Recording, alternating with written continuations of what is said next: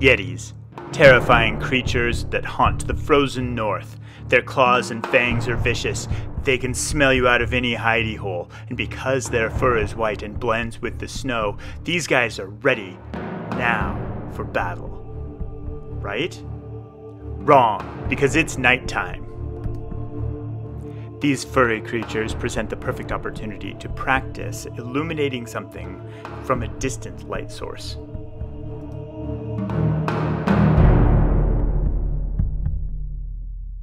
Start by giving them a good black undercoat. Both of them. The red and yellow are here to show that in the future, these creatures may be illuminated by a lantern held by a character, but for now, the blue, green, and black will suffice for shining moonlight on their fur.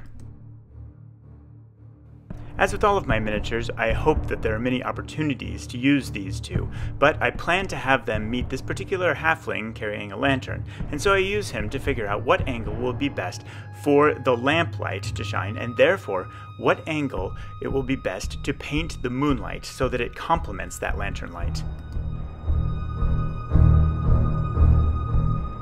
Because I have two of the beasts, I want one facing toward the moon and one away so that there's some more variety to my scene.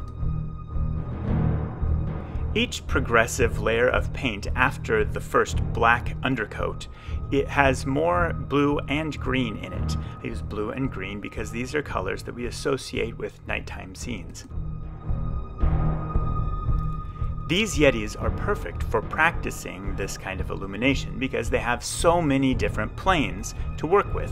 The angles of every riffle of fur are different, so there are lots of times you can make a decision and figure out what is the best way to show distant illumination.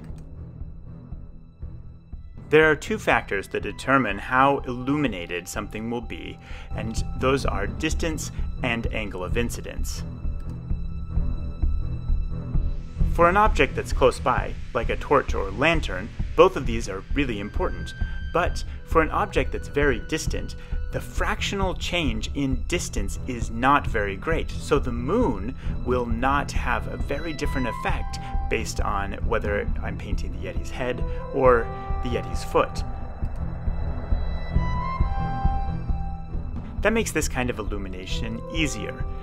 The first thing to figure out is what parts of the model are in shadow. Those parts will remain black. Any part that is not in shadow will have a brightness that's determined by how closely it faces the object illuminating it, in this case, the moon.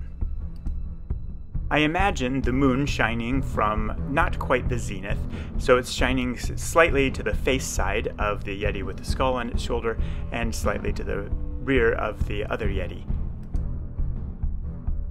the brightest portions of each fold of fur or flesh that is facing slightly up and back or up and forward, depending on the Yeti, will be the brightest. Because these Yetis are white, and because they have so many different angles on their bodies, they are a perfect instrument for learning how to paint this style. They will also be perfect when I start illuminating them with a lantern. Stay tuned. Thank you for watching, and thank you for your valor.